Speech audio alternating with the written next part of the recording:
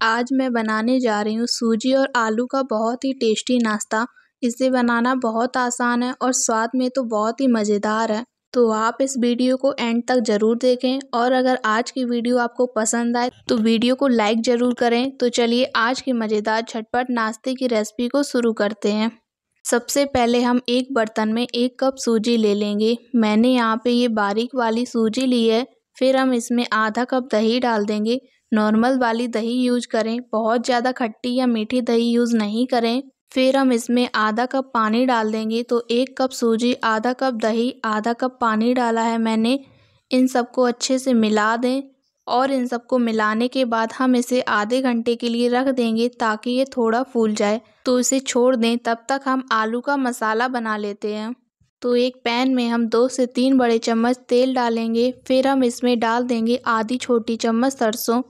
अब हम इसमें डाल देंगे एक मीडियम साइज़ का प्याज, दो से तीन हरी मिर्च, दस से बारह करी पत्ता डाल दें।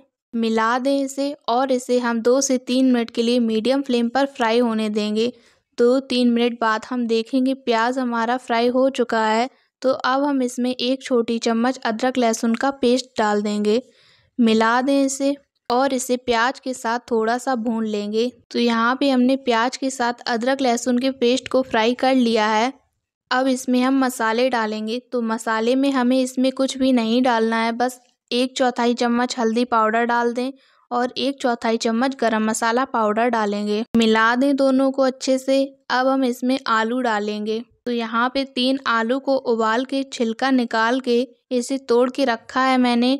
तो यहाँ पे ये उबले हुए आलू डाल दें, मिला दें अच्छे से। आलू को आप अच्छे से क्रश कर लें। यहाँ पे आप देख सकते हैं मैं आलू को मैश कर रही हूँ।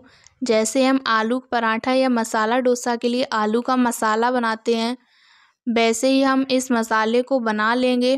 स्वाद अनुसार नमक डाल दें और इसे मिक्स कर लें। तो ये हमारा आलू मसाला रेडी है। तो हम यहाँ पे गैस को बंद कर देंगे और इसके बाद इसे अच्छे से ठंडा हो जाने देंगे।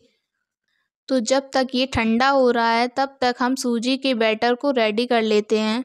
तो आधा घंटा यहाँ पे हो चुका है, इसे एक बार अच्छे से मिला लें। अब इसमें हम पानी डालेंगे। यहाँ पे आप देख सकते हैं, बैटर बहुत ज़्यादा गाढ़ा है।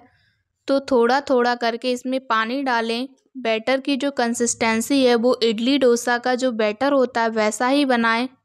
तो हमारा बैटर रेडी है तो यहाँ पे आधी छोटी चम्मच नमक डाल दें और इसे अच्छे से मिक्स कर लें।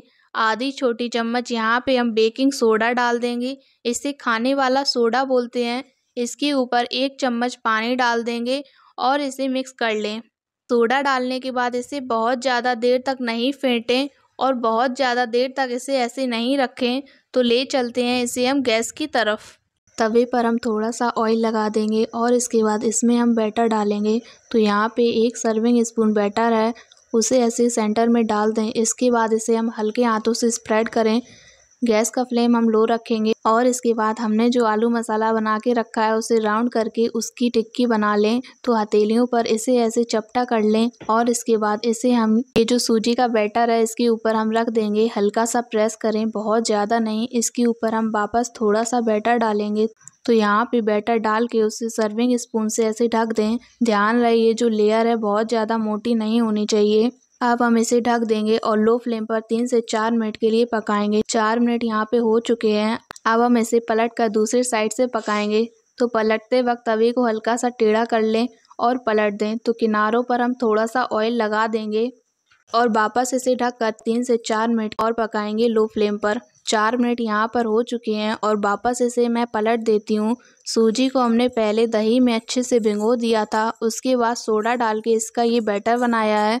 तो ये बैटर जो है वो तवे पर जाते ही तुरंत पक जाता है। तो इसमें कच्चा रहने की कोई गुंजाइश बिल्कुल नहीं है।